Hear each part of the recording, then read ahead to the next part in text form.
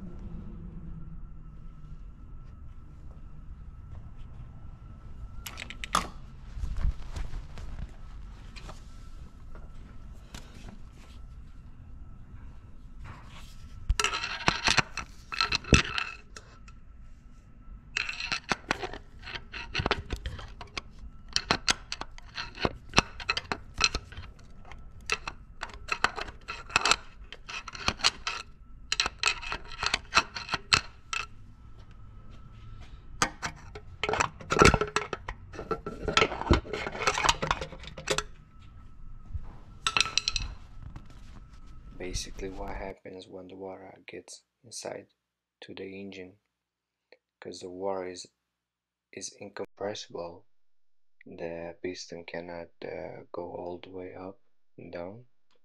So because of that the piston is bending and it's exploding. So for more uh, information you can search up in google to see what is going on with a hydrolock engine or take a look on this picture uh, and you'll understand what is going on in the engine in this moment